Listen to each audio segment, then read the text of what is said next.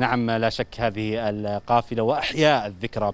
بقافلة أو مسيرة قافلة درب زبيدة هي لا شك مهمة جدا وأيضا تعيد بنا للماضي الجميل كيف كانوا أباؤنا وأجدادنا يسيرون للذهاب للحج من على طريق درب زبيدة والمسار المسار من الكوفة إلى مكة المكرمة يمر بمدينة فيد التاريخية. هذه المدينة التي يوجد بها العديد والعديد من الأماكن التراثية من مثل قصر خراش وبعض المقتنيات التي وجدت على هذا الدرب درب زبيدة. راح أتحدث أكثر حول هذا الموضوع وأيضا الأهداف من هذه المسيرة مسيرة درب زبيدة ومشاركة صاحب السمو الملكي الأمير فيصل بن فهد بن مقرن هذا الصباح الباكر مع القافلة التي تسير مكونة من خمسين شخص بين المهتمين بالتراث وأيضا المشاركين في رياضة الهايكينج. وأيضا الأشخاص المحاضرين في الجامعات ومهتمين في الأمور السياحية. راح أتحدث عن الكثير والكثير عن هذا الموضوع. ينضم معي للحديث أكثر اللواء ركن متقاعد الدكتور عبد العزيز العبيدة.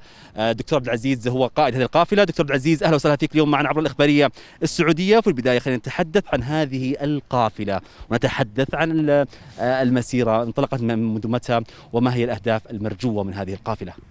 بسم الله والصلاة والسلام على رسول الله. أشكركم على اللقاء. طبعا قافلة درب زبيدة هي قافلة القصد منها مشي أو قطع درب زبيدة في منطقة حائل. درب زبيدة هو عبارة عن درب من دروب التجارة سابقا قبل الإسلام ثم بعد الإسلام أصبح من دروب الحج وهو يتكون من 1400 كيلو بدءا من الكوفة وانتهاء من مكة المكرمة يمر بخمسة مناطق إدارية اللي هي الحدود الشمالية ثم حائل ثم القصيم ثم المدينة ومكة. آه الدرب طبعا إحنا بدأنا بقطع المسافة الموجودة في حائل واللي هي 420 كيلو. بدأنا من الشيحيات يوم 4 4 يناير اللي إحنا فيه الآن. ولنا الآن الليل الحادي عشر قطعنا أكثر من آه 320 كيلو. وباقي قدامنا إن شاء الله بحدود ال 120 إلى 140 كيلو. والحمد لله إحنا معنا الآن 9 و 65 مشارك من المشاة و آه نعم زايدين لأنه إحنا يجونا زوار محاضرين باستمرار. ومعنا أيضا ركايب على الإبل آه 19 الحملة تتكون من أكثر من مئة بين بين يعني من يخدم الحملة ومن يشترك فيها. طبعا جدولها يومي يبدأ بعد صلاة الفجر ثم المسير من 30 إلى 35 كيلو يوميا.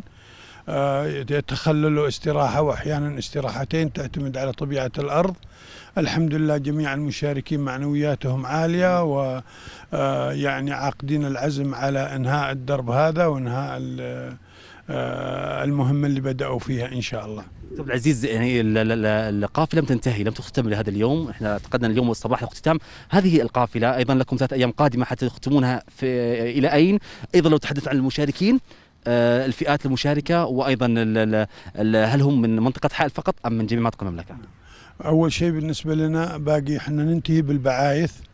بدأنا بالشيحيات ننتهي بالبعايث بالنسبة للمشاركين هم غالبيتهم من السعوديين معنا سيدة كويتية على الركائب. والسبب الحقيقة إحنا قدم علينا أكثر من 22 من جنسيات أخرى لكن بسبب إغلاق الحدود اللي كان يعني في وقت بدء بدء القافلة تعثر وصول بعضهم واعتذروا.